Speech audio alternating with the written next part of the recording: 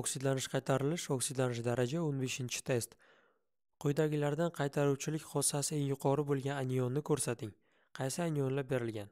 Demak, kislorod anioni demak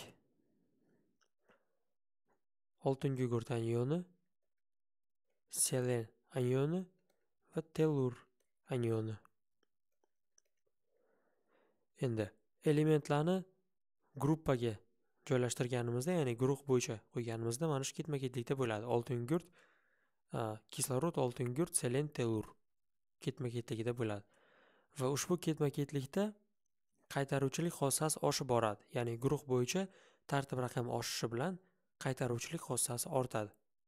Demak, eng yuqori qaytaruvchilik xossasiga ega bo'lgan anion bu tellur 2- bo'lishi kerak, ya'ni B varianti.